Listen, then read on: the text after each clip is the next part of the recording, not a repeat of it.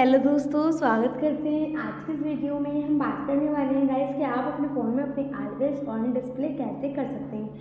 तो इस वीडियो में सिंपल सिंपल स्टेप है आपको उन्हें फॉलो करके आप अपने फ़ोन में अपनी ऑलवेज ऑन डिस्प्ले कर सकते हैं। तो वही वीडियो की जानकारी के लिए वीडियो लास्ट ज़रूर देखना। आइए वीडियो शुरू करते हैं। वीडियो शुरू करने के लिए गाइस सबसे पहले हमें अपने फ़ोन की सेटिंग को ऑन करना होगा।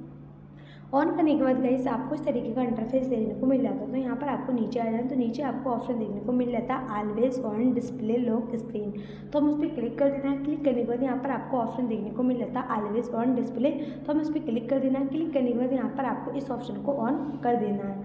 तो गाइज़ यहाँ पर आपको कई सारे मिल जाते हैं। तो गाइज़ आपको जो अपनी अपना नाम लगाना है तो आप यहाँ से लगा सकते हैं, जिससे कि आपको उस पर क्लिक करना होगा तो आप यहाँ से अपना नाम लगा सकते हैं चेंज कर सकते हैं।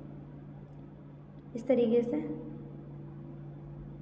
आपको जो भी अपना नाम लगाना है, इस तरीके से इसे अप्लाई कर देंगे। अप्लाई करने के बाद यहाँ पर आपको जो नाम है, वो लग जाएगा अगर आप अपने फ़ोन में अपने क्लॉक लगाना चाहते हैं तो आप यहाँ से क्लॉक भी लगा सकते हैं। इसे यहाँ से क्लॉक लगा के इसे अप्लाई कर देंगे तो आपका जो है क्लॉक लग जाएगा। तो गए इस तरीके से आप अपने फ़ोन में अपनी एड क्लॉक कर सकते हैं। तो गए वीडियो पसंद आए सॉरी अपनी ऑलवेज फ़ोन डिस्प्ले कर सकते हैं। तो अगर वीडियो पसंद आई हो तो शेयर करें लाइक करें चैनल पर नए हो तो चैनल को सब्सक्राइब करें। मिलते हैं अगली नेक्स्ट वीडियो में। तब तक के लिए bye bye and take care